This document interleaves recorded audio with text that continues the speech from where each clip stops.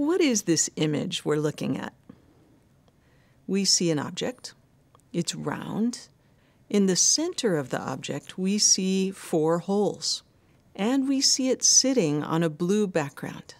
And we would all say this is a picture of a button. But what's much more descriptive is that level of detail we just did together. In this image, we see a picture of a lower leg. To me, it looks like it's the left lower leg because we can see the ankle bone. And then above it, we see the mark, the scar.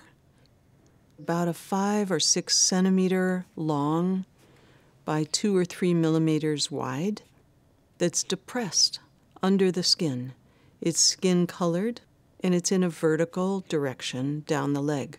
We're learning to see without bias, without a judgment.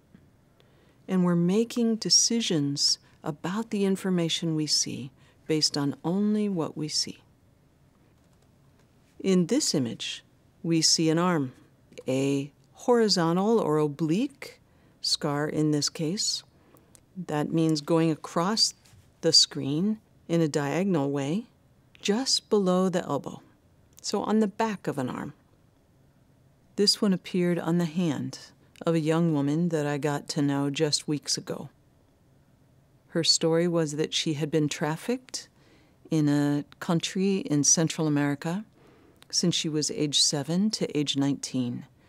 This burn is the result of multiple cigarette burns in one spot that were so deep that over time it created this raised, unusual oval scar. The work of the HHRI is to document torture and scars that can occur months to years after the events. We teach doctors how to use forensic science to tell the stories behind the scars.